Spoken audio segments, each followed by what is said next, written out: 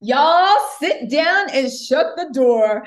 Kanye West is being quoted by TMZ, so you know it's already some BS. But listen, already I can see somebody seems a bit upset about Kanye's new girl, the one that you said you idolized, looked up to, and thought had the perfect body, right? But I will say this, right? They're trying to say in this article that Kanye's saying that agreeing that Kim can have the kids 80% of the time. When I read it and I literally said, and you know me, I like to I like to reach. I like to get in there and see what I can make of things. You know, I like to gossip. If you're new to my channel, my name is Tisa. I'm your friendly neighborhood gossip, the gossip oracle. I keep track of all this pettiness so you don't have to. So, anyway, all jokes aside, right? Hit that like, subscribe button. Don't forget, Kandi Burruss interview is up. Real Housewives of Atlanta, it's up. Part two, I'll be reviewing right after the show, and the members only live. Okay, so let's get into this, right? Um, listen, Kanye, the way I read it, did not say Kim can have those kids 80% of the time. He was speaking about the way things currently are. And he was also saying that he's also going to support Kim in business because it goes to the kids. I got more on this, but what he's saying makes perfect sense. But you know, KMC had to try it. But you know, we got to play devil's advocate too. Anyway, let's go. Well, guess what?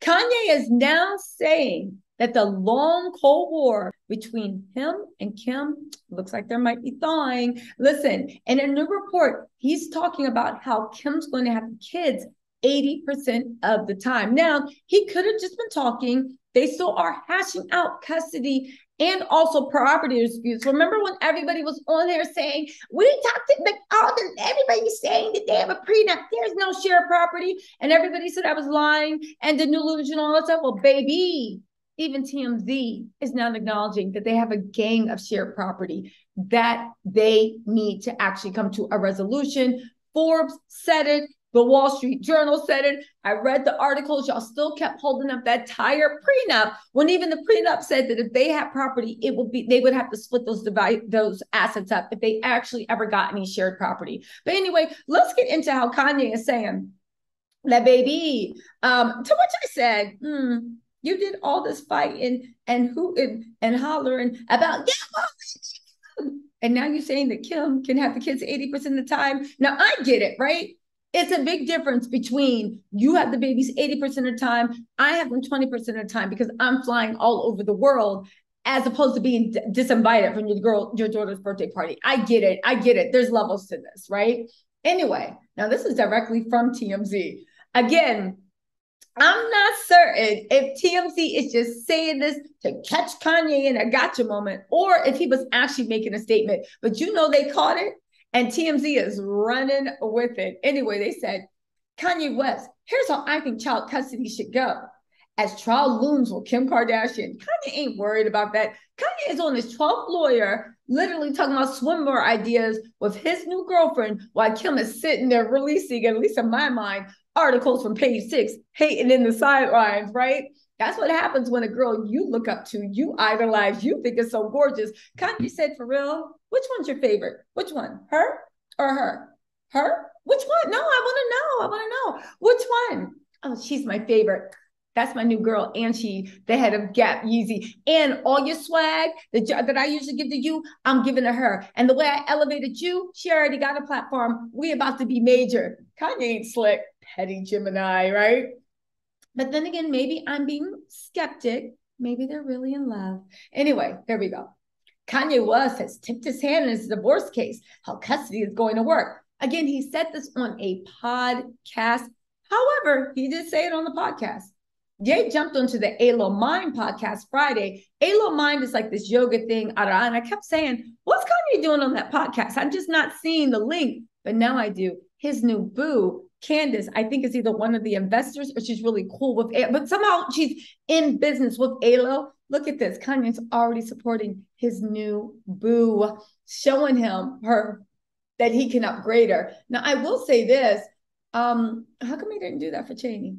I'm just saying. I'm just saying. Shane deserve it. He didn't up he didn't upgrade uh Amber uh what was it? Amber Rose either. Anyway, um, Jay jumped on the Alo Mind uh, podcast Friday and said, even on this day, even to this day, I still give Kim advice on things that can help because that's going to go to the kids. She still got them 80% of the time to raise those children. Now, let me just decipher this because a lot of people were in my DMs calling me crazy in the comment section saying I'm a liar. Kim owns part of Yeezy, right?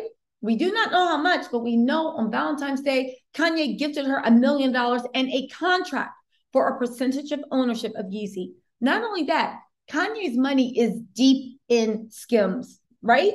Why would he want Skims to fail when that's part of his billion dollar empire? Like he says, he still gives her advice to this day on the things that can actually go into his kid's legacy.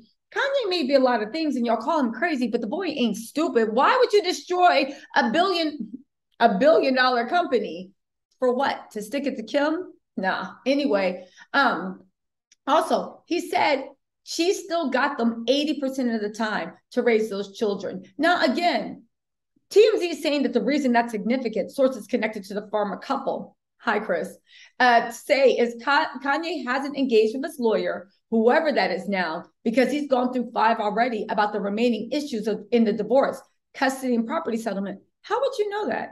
You just said he hasn't engaged with his lawyer, whoever that is now, how would you know who he's engaged with if you don't even know who his lawyer is? Second of all, Kanye was saying she's got them 80% of the time now. The way I read it, that still doesn't mean that he's not going to have them, he's not going for 50 50 custody or 40 60 or 30 70, right? He's literally speaking about she has them, she's still got them 80% of the time. So she still has to raise those children.